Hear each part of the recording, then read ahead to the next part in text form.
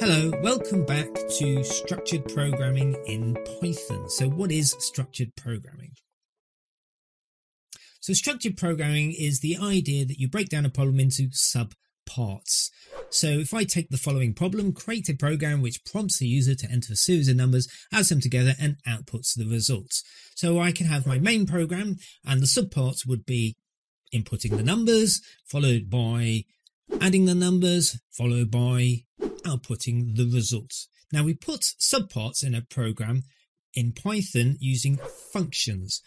Now functions in Python are defined using the def function followed by the name of the function. So def, as you can see there, followed by output total. And then in those brackets, you would put parameters, which we'll cover later.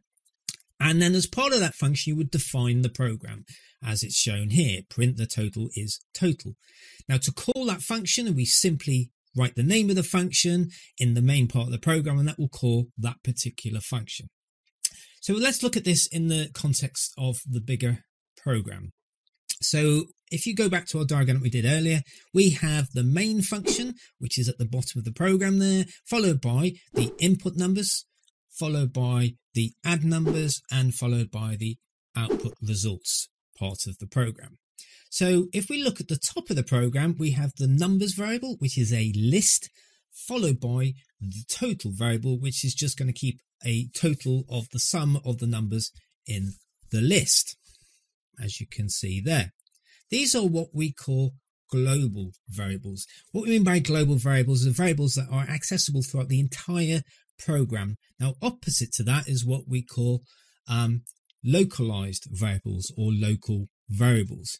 And you can see that in this program uh, using taking number as the example. That is a local variable. It is only accessible inside that function and it won't be accessible outside of that function, just in that function. If we take this pro this first function, which is input numbers, it's simply asking the user for an input, uh, defining the numbers minus one, and it will keep looping until you enter a zero, in which case you've finished adding numbers. And every time you add a number, you will append it to the numbers list as shown there. The next function, which is add numbers, simply adds or sums up the total of numbers. Now we use the global command there to say we're referring to a global variable as opposed to the local variable.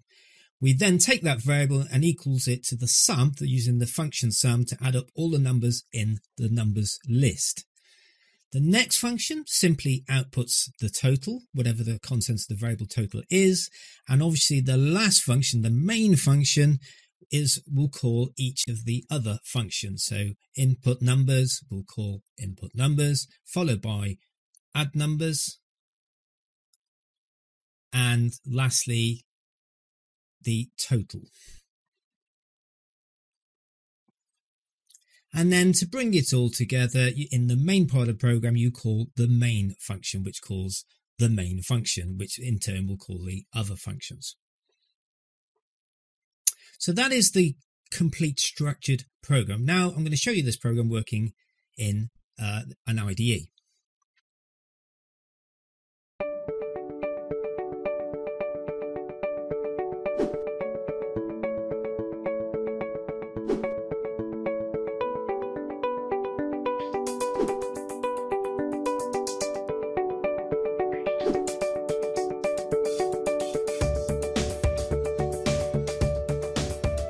So this is my program in the IDE and you can see here the, the, the program. I'm going to now run it and And on here, you'll say it's asking me for a number. I will enter a series of numbers, 5, so 8, 10, 2, and I will finish the input with 0 and it says your total is 25. So the program has worked. And just to step through how the program's working. So we've got here the, the program, that the Python sets the, defines the list, which is an empty list of numbers and defines the total. It will not run any of these functions because they haven't been called yet. So it gets to the end of the program, which is main, which says call that function main. So main will call, be called up here. It will run this function input numbers, which goes up here. This will ask print out to the prompt the user for an input. We set number one to minus one because um, otherwise the while loop won't start. So that's our default number if you like. And then while, so while the number does not equal zero, in other words, we're going to keep looping until I enter zero, ask a number from the user, convert it into an integer. If the number doesn't equal zero, then add the number that I've just entered to the list, append it to the end of the list, and it will keep on looping there until I enter zero. When I enter zero, this function will finish and return back to where it was called from. And so it comes down here. This will then run add numbers, which goes back up here into add numbers.